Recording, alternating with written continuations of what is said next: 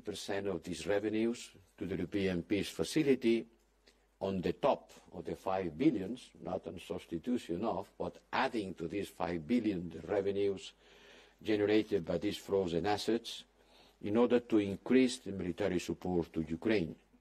We do that through the European Peace Facility because the European Union budget cannot use its resources to buy arms. The European Peace Facility, as an intergovernmental fund, can do it.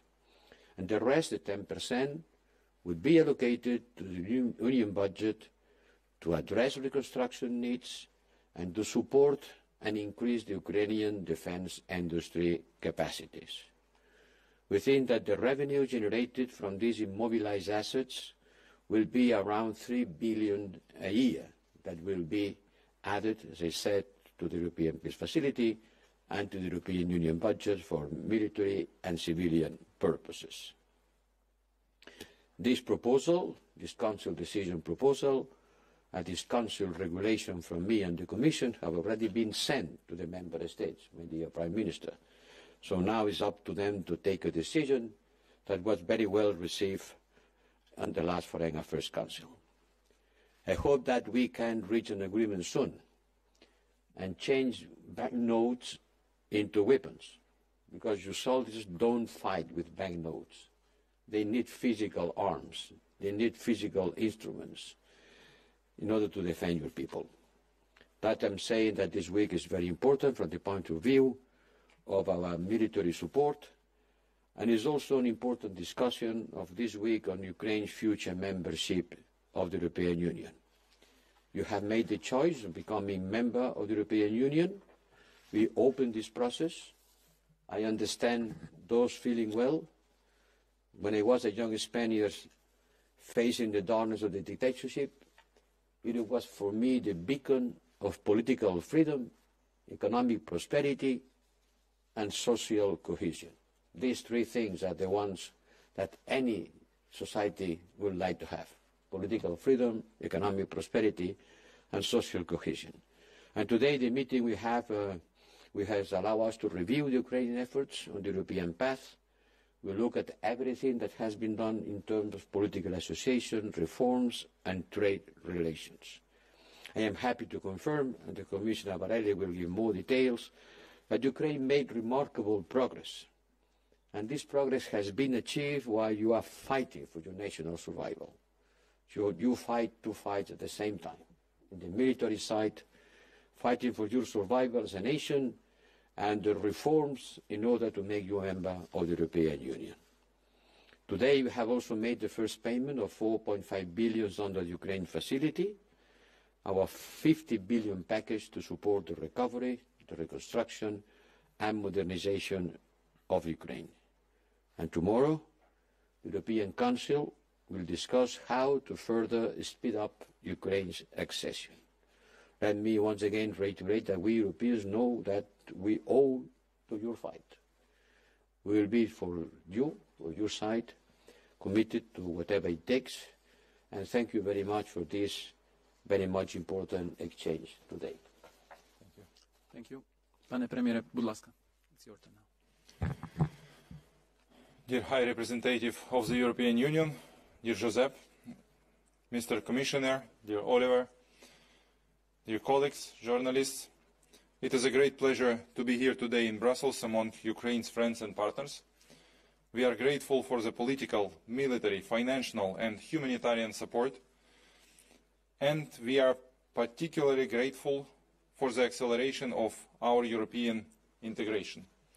We are grateful for the approval of the Ukraine Facility Mechanism for Ukraine. It will provide 50 billion euros in assistance over four years it will be one of the key factors in our stability, and it is already working. Our second key priority is long-term sustainable and predictable military support from the EU. I fully agree with Mr. Josep Borrell's words that EU is now on high alert as the vital interests of the entire continent are at stake. That is why Ukraine expects rapid progress in defense relations. In particular, we expect the newly established Ukraine Assistance Fund under the European Peace Facility, EPF, to be effective. This instrument will allow to increase the military support by an additional 5 billion euros this year. Thank you so much for this. We also welcome the first European Defence Industrial Strategy presented on 5th March, which includes Ukraine. It's crucially important for us. We are interested in participating in its practical implementation as soon as possible. After all, the Ukrainian defence industry will make Europe stronger to face common security challenges. The operating of the Defence Innovation Office in Kiev will also contribute to this. We are grateful to the EU for its consist consistency in implementing sanctions against Russia and for the 13th sanctions package adopted in February. We expect the pressure on Russia to increase as part of the next 40, uh, 14th package. It is important to book the metallurgical, financial and energy sectors of the aggressor economy, including nuclear industry and enterprises of Rosatom. We also need quick decisions on the confiscation of Russian assets. We need to use profits from these assets for uh, recovery and also for buying of weaponry and ammunition, as Mr. High Representative uh, notes, and to cover budgetary needs. But that is only the first step. We insist on the full confiscation of other or other use of all frozen assets. I mean body of frozen Russian assets. Europe and the world need an effective precedent for making the aggressor pay a heavy price for the destruction it has caused in Ukraine. Dear colleagues, today's meeting of the Association Council is the second since Ukraine was granted candidate status for EU membership and the first following the European Council's historic decision to open accession negotiations. We are grateful to our European partners for the agreement to continue the autonomous trade liberalisation measures. It is extremely important for the Ukrainian economy that the so-called economic visa-free regime would be extended. At the same time, we seek long-term agreements on further trade liberalisation, including through the mechanism provided Article 29 of the Association Agreement. Ukraine is ready to take further coordinated steps with its neighbours and the European Commission to unblock the border and restore exports and transit of Ukrainian goods. First of all, agricultural products. We are also working productively to bring the start of negotiations on the ACA agreement closer. This is the so-called industrial visa-free regime. This is a very important step in our strategic partnership. We look forward to further political support for EU-Ukraine relations in the area of critical raw materials and our participation in EU industrial alliances. Ladies and gentlemen, I would like to thank Josep Borrell, Oliver Varhelyi, all partners and friends for today's productive meeting of the EU-Ukraine Association Council. We have, we have seen that there is no alternative to the path of EU accession and that it is irreversible. And this is matter of the near future, not of distant prospects. We need each other today, tomorrow and always. Unity is our strength, our truth, our common values and our better future for, generation, for generations to come. Thank you so much, dear High Representative, dear Commissioner. Thank you so much, dear colleagues, journalists. Thank you for your attention. Ďakujem, thank you. And Mr. Commissioner, now it's your turn. Thank you very much. I want to first of all welcome Prime Minister Shmyhal. Uh, and um, I uh, start by saying that, uh, of course, the European Commission continues to stand by Ukraine and uh, the people of Ukraine in defending their country. Therefore, in this fight, as long as it takes, the Commission will continue to support with all our means uh, the Ukrainian state to function and to run and perform the public services uh, under this huge pressure of war of aggression uh, is causing. We're continuously in contact in many different fora with the Ukrainian counterparts. Today, in the Association Council, we conveyed uh, our unwavering support to the Prime Minister and his team. And also, uh, we took stock of the um, ongoing uh, support Ukraine is receiving from us. When it comes to our financial support, we noted that since the start of uh, the Russian aggression against Ukraine, the EU, the Member States, and the European financial institutions have altogether made available 98 billion euros uh, to Ukraine and to its people. This includes humanitarian, economic, military support and uh, funding uh, made, avail made, available also to host Ukrainian refugees in Europe. This support also includes the first ever payment uh, worth of uh, four and a half billion euros under the newly established uh, Ukraine facility.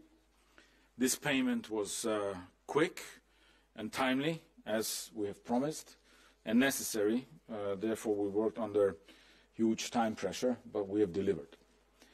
We would also expect the next payment uh, to come in April uh, already, uh, subject to progress on policy conditions as they were agreed between the Commission and uh, Ukraine previously. I also want to recall that the Ukraine facility of uh, 50 billion euros of support is there also uh, for the next four years. This is to support the recovery and reconstruction and modernization of Ukraine as well. And this should create predictable, reliable financing for the next four years. The facility will cater both for short-term state needs and recovery requests and medium-term reconstruction and modernization of uh, the Ukraine uh, the Ukraine reconstruction work and this should also help the private sector uh, to participate in the reconstruction and recovery exercise and should also bring further uh, the reforms necessary for EU accession. We welcome uh, that Ukraine has approved its plan now ahead of the Association Council. I understand that the Prime Minister has another meeting to hand over this plan uh, to our President. Uh, this has been uh, common efforts, uh, working together with the administration in Kiev. And I think uh, that this plan uh, should be the main tool for the implementation of the Ukraine facility. And this plan should also be a comprehensive plan of the, of the whole country uh, for the internal reforms and investment priorities. And uh, it should be also ready to be presented to the donors, the international partners, so that they can also uh, come forward with their contributions. The Commission will now assess this plan and uh, will make proposal for a Council implementing decision outlining the reforms and uh, investments for the next four years.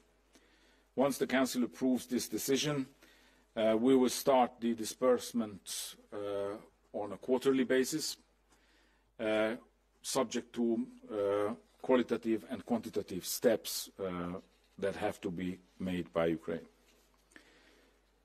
Now, this is the first EU-Ukraine Association Council since uh, the European Council took the decision to open accession negotiations with Ukraine. We are pleased that this decision has uh, contributed to maintaining a positive momentum in the country for advancing reforms, despite uh, the ongoing war. It is important that Ukraine build on this positive momentum, uh, as enlargement will remain a merit-based process. In particular, I want to uh, emphasize the continued importance of the judicial and anti-corruption reforms. Today we took note of the work on the four remaining reform steps that are necessary for the adoption of the negotiating framework and on, which we, on the basis of which the European Council took its decision to start uh, the accession negotiations back in December. We recalled that the Commission will continue to monitor uh, the implementation of all these steps, and this includes uh, advancing the rights of persons belonging, belonging, to national minorities, where we emphasize the need to closely engage with minorities and their kin states. We also encourage Ukraine to work hard towards completion of uh, the other uh, recommendations that we have made to each chapter back in our enlargement report of last year. And we will assess this as part of our regular reporting exercise on enlargement progress uh, later on this year. Uh, we also record uh, for the Ukrainian colleagues that uh, the Commission has tabled the draft negotiating framework for uh, discussions in the Council, uh, which is now to be agreed by the Council um, once the internal deliberations um, have been successful. We also discussed the state of play of implementation of commitments under the Association Agreement, and uh, we also uh, underlined the importance of taking full advantage of the possibilities under the Deep and Comprehensive Free Trade Area, uh, there is still potential uh, that we have not uh, used. Uh, there are very many promising areas, um, and we are already working in areas like the roaming area, um, the ACA, the Agreement on Conformity Assessment and Acceptance, uh, as mentioned by uh, the Prime Minister, but also we have touched upon the energy sector. So, in conclusion, I think it's safe to say that what we see is a stronger and more resilient uh, Ukraine, uh, despite all the efforts of the Russian aggressors. And it is also very clear that Ukraine uh, will come closer and closer to the European Union. Thank you. Thank you. Now we take a few questions. Uh, first one, Dmitro. Також маємо українські преклади, можна запитати українські, so we have Ukrainian translation as well, so if you want you can ask in Ukrainian.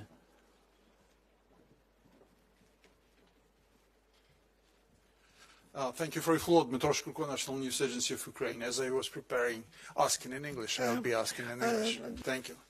For uh, High Representative, if I may, uh, as we speak, uh, there are two, at least, uh, uh, trans-border point blocked uh, by Polish can you repeat? I haven't understood. Border crossing. As we speak, we have two border crossing points blocked now in Poland. As Prime Minister mentioned, you discussed shortly that issue. But right now that uh, uh, event uh, just developing because we have also attempted to block the border with between Poland and Germany. So that do you see some problems in that and what is uh, the possible threat uh, for um, European mobility and in particular military mobility in that uh, regard, especially in the view of hybrid threats from Russian side. Uh, for Prime Minister, if I may, you mentioned the importance of uh, the autonomous measures uh, which are introduced by uh, European Union. Uh, but there are some limitations in the trade, and we expect that uh, Ukraine will not get some kind of one billion or more of revenues because of limita that limitations. Are you going to diversify uh, the trade flow uh, in that regard. I mean, to maybe to find in other markets. And to Commissioner Varhelyi, if I may, uh, with all the issues related to enlargement, do you expect the first inter intergovernmental conference could be held before the European elections? Thank you so much. Well, um, about the blocking of the border, yes, we are aware of that. Uh, we are following uh, closely these events. Certainly, the border has to be deblocked. Whatever reason they can argue, this has to be solved by other means. Because from a military point of view, we need to have the transit between Ukraine and the rest of the European, and the European Union free for military, for civilian purposes. So I understand there may be concerns, but the way of solving that is certainly not uh, jeopardizing the transit between Ukraine and Poland in this critical moment. Thank you so much. So I will continue uh, the answer of High Representative. We work hard on the basis of coordination platform here in European Commission. We work hard with our neighbor countries, and I believe that nearest time we will have good results. Uh, the most important things which, which, we discussed today during Association Council is uh, impossibility of blocking of the uh, solidarity lanes through the European Union, uh, including our border points, uh, border control points, because it's first point for beginning of uh, solidarity lanes, and it couldn't be blocked. We have no one officially recognized uh, case when uh, weaponry, weaponry supplying or humanitarian support supplying were blocked, so it was no one times, so it go free through our, through our border. Uh, we also uh, have very good decision uh, yesterday's, tonight, I would say tonight's trialogue discussion, when continuation of autonomous trading measures uh, is approved uh, by uh, representatives of European Council and European Parliament for one year more, since 25th of June, for the one year. And there is good good for us uh, conditions uh, when we will take 22nd, 23rd year for uh, estimation of level of supplying of our uh, good from Ukraine to European Union. Uh, there are some uh, safeguards which could be implemented, but it will not work while Ukraine will not reach some volume of this 22nd, 23rd year. So in general, these conditions are negotiated with Ukraine, are approved by Ukraine, and uh, I believe that it will be approved by uh, European Council, and we will have this uh, in practice uh, for the next year. Thank you so much. Yes. Um, well, when to have the first IGC? First, you have to have um, a negotiating framework adopted that is the moment from when some can uh, see also the timeline for the first IGC. Uh, as you have seen, we made a proposal uh, to the Council uh, on the negotiating framework. Once the Council adopted, I think uh, we can see when uh, the first IGC will be convened by the Council. Thank you very much. And since Prime Minister has to go to the Commission, we have to leave it here. We had three questions already, so thank you very much for coming. Prime Minister has to Prime Minister has to leave. High, President. Okay, so let's take one question quickly. Philippe, vous pouvez en français, mais très rapidement, s'il vous plaît. Thank you, uh, Philippe Regnier, Journal Le Soir. So, a quick question. It seems that the Commission has some ideas in order to conduct the enlargement process with uh, Ukraine. Uh, would you please uh, elaborate a bit on this? Um, it's uh, the question of the so-called uh, step-by-step enlargement. Thank you.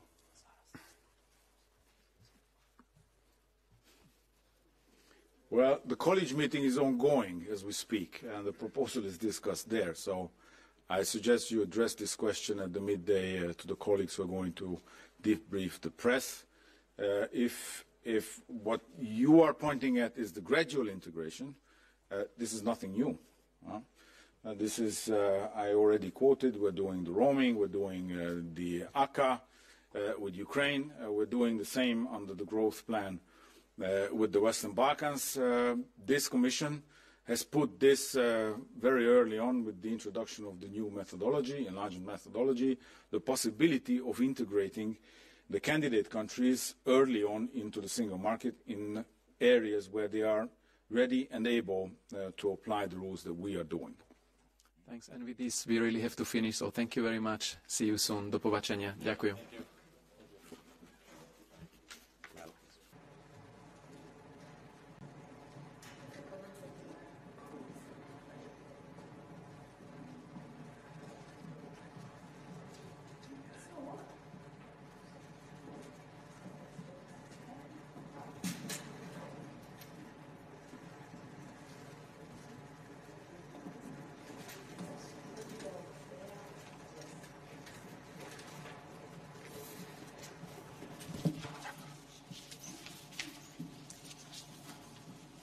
Prime Minister Shmyhal, dear Denys, it is my great pleasure to welcome you here today again.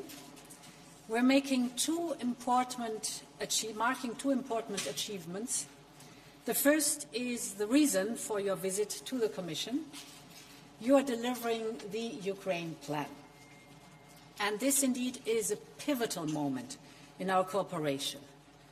Your success in delivering the plan today is all the more impressive since it is only 19 days that the Ukraine facility entered into force. The plan maps out how Ukraine can get back to rapid growth and start to recover the losses that the war has caused. Moreover, it is based on the same approach we have developed within the European Union. In other words, it combines reforms and investments, and this will boost, boost growth and at the same time help Ukraine move closer to our Union. The dedication and the commitment of the Ukrainian government is truly remarkable, especially as you are still facing a brutal Russian war of aggression. Your teams worked closely with the Commission and drew on the significant expertise of the World Bank, the IMF and the G7. We have discussed this plan many times as it was being developed. It will now be assessed carefully by my services, but I'm very confident that soon, we will soon be able to make a positive recommendation to the Council to endorse the plan.